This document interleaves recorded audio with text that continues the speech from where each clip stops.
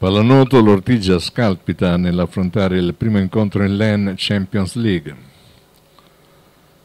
Per l'Ortigia è ormai alle porte il primo impegno ufficiale della stagione, il più prestigioso, quello che segna il ritorno dopo tre anni in LEN Champions League.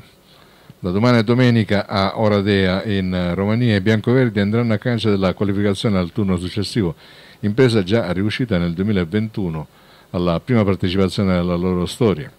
Non sarà semplice perché il girone C nel quale è inserita l'Ortigia è forse uno dei più difficili visto che comprende i padroni di casa dell'Oradea dove milita l'ex Velkic, i temibili croati del Primorie Rijeka e soprattutto i greci del Vulegmeni che nella scorsa edizione sono stati sconfitti solo in semifinale dal Recco concludendo poi la competizione al quarto posto. Un avversario difficile con il quale i biancoverdi si confronteranno subito domani pomeriggio alle 17 ora italiana nel match valido per la prima giornata. Per coach Piccardo tutto è disponibile tranne il neoacquisto Inaba che deve scontare un turno di squalifica rimediata lo scorso anno in Eurocup.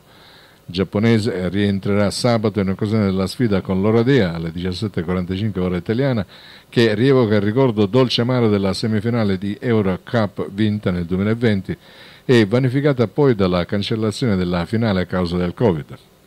Ultima gara domenica mattina alle 8.45 ora italiana con il Primorie Rieca.